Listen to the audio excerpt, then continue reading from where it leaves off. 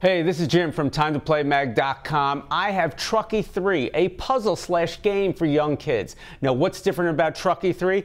Comes with three different trucks, 10 different blocks, and there are four different levels of puzzles. There's starter and junior. In the starter and junior level, you're only working with one truck and a certain number of pieces. But once you get really good, you can go on to the expert and master where you'll be working with multiple trucks. Now, let me show how a puzzle works. You'll see a puzzle and it will tell you two pieces that you need. In this case, it's the green and pink. Now, I happen to be really good at this, and I did not cheat, so I'm going to put the pink one in, and I'm going to try and put that in there. No, it doesn't go there, and maybe it goes like that. So you have to figure out how to put the pieces in the truck so they don't overhang the truck. Now, if you do get stuck, you can flip the page, and we'll give you the solution.